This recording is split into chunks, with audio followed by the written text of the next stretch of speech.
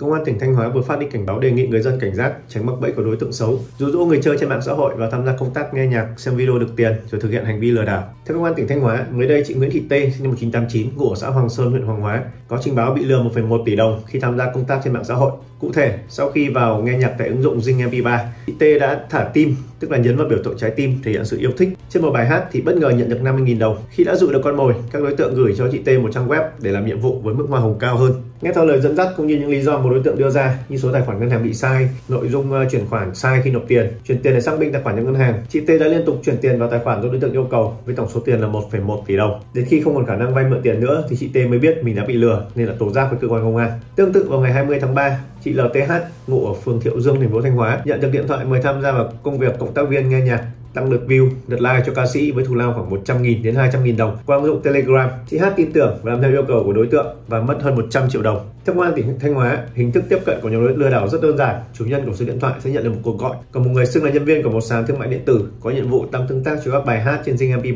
bằng cách trả tiền tương tác và hoa hồng cho người nghe nhạc. Chú giải thích chỉ cần bật bài hát lên là sẽ được 10.000 đồng một bài, kể cả không nghe mà chỉ để để đó thì cũng vẫn nhận được tiền. Sau đó sẽ được lời mời đề nghị kết bạn qua Zalo và thông tin cá nhân, tài khoản sẽ được nhóm lừa đảo khai thác. Những người hám lợi sẽ dễ dàng bị chúng lừa đảo.